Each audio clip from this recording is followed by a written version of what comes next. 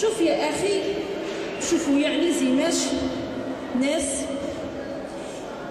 نصبوا روحهم مسؤولين علينا بالسيف وزادوا فرضوا نفوسهم عندهم وطنية أكثر منا.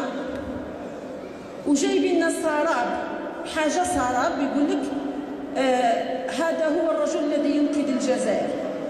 يعني هذا الراجل كي كان صحيح و15 سنة وثلاث عهدات ما نقدش الجزائر داها الهاويه ودركا كي عاد في الفراش ينقذ الجزائر. دخلوا راسكم ثم هذه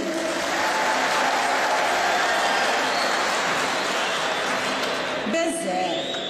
يا عم طفيل هذيك طفيلة صغيرة كيقعد نحكي لها تفهم.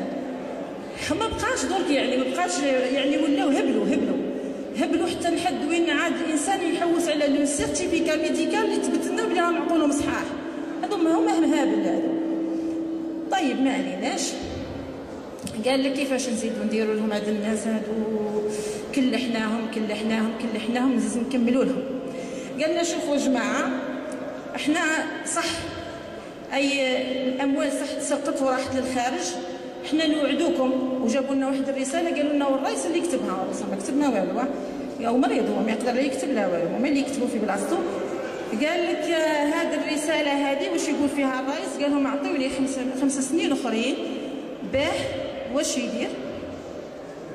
قال لهم باش نرجع لكم الأموال المختلسة نردها لي في الخارج هذيك ردها. آه يا سيدي شوف ماشي تمسخيره هذه ثاني وهي في الأصل في الأصل في الأصل واش هي؟ باش اللي مازال في الخزينة تاع الدولة يزيد يروح واقعد انت يا شعب على روحك روح تطلب. روح تطلب وين تطلب؟ والله وأنا أستمع إلى هذه الرسالة رسالة رئيس الجمهورية. كدت أن أبكي. أرجعتني إلى جلسة كانت لي مع رئيس الجمهورية سنة 2001 نعم. لمدة ساعتين ونصف وهو يحكي لي همومه كرئيس جمهورية من أجل إنقاذ الجزائر ولماذا جاء إلى الجزائر. ولكن لما طال الأمد كدنا أن نيأس لكن أظنه بهذا الدستور الجديد وبهذه الرسالة التي كانت خلاصة قول وفعل نتمنى إن شاء الله الخير إلى الأمام وأن نكون متفائلين وأقول للشعب الجزائري تفائل تفائل تجد خيرا إن شاء الله.